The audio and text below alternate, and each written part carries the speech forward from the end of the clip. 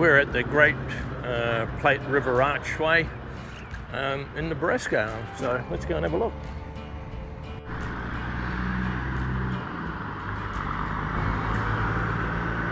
We're on the way.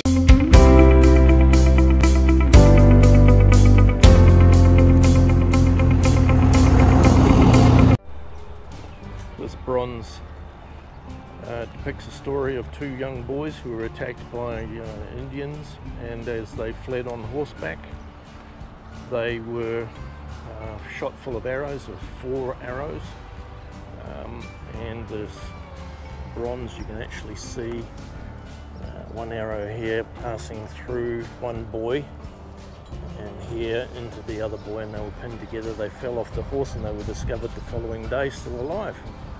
Well, one lived until he was 47, the other one lived until um, he was very old, in his 70s. And here's the story if you want to pause and read that.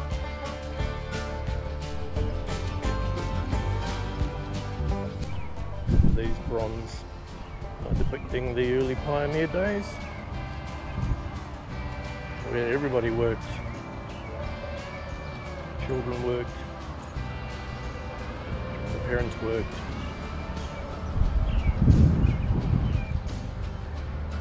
And of course the teams of horses worked.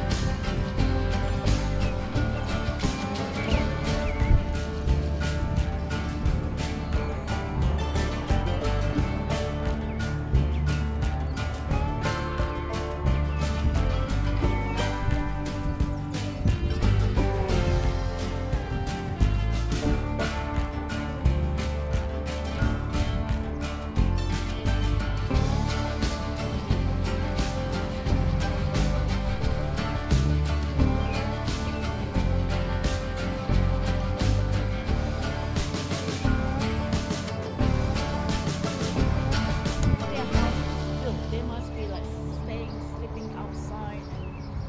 Mm-hmm.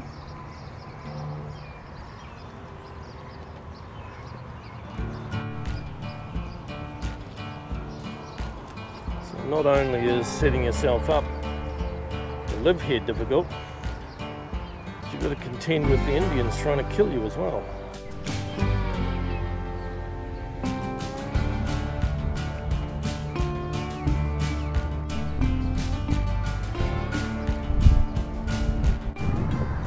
Alright, so the museum fills the entire archway across here. Um, we don't have time, unfortunately, to go through that, um, but the uh, surroundings outside are still very nice. Um, and you know, I would I would allocate yourself maybe about three hours to get through the whole thing.